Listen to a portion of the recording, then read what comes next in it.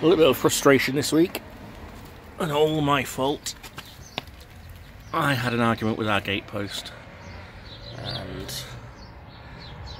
dented bottom skirt here. Not lost the trim, we've actually taken that off because it needs some new clips cut out as well. It's just me being stupid and misjudging the gatepost completely. So, and I got the van when I'm truly stuck. And whether I went backwards or forwards, I was gonna do some damage. And that's what I did to the gatepost. I'm not too bothered about that. I'm more angry with myself about that.